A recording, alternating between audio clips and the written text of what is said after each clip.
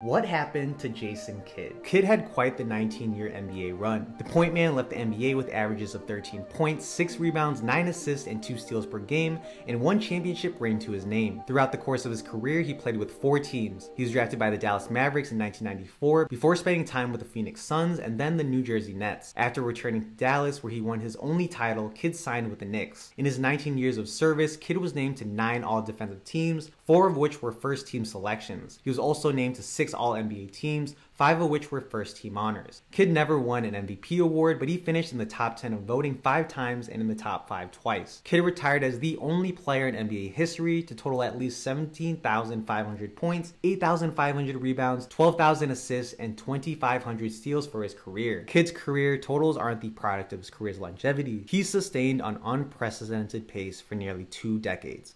Where do you rank Jason Kidd in all-time point guards?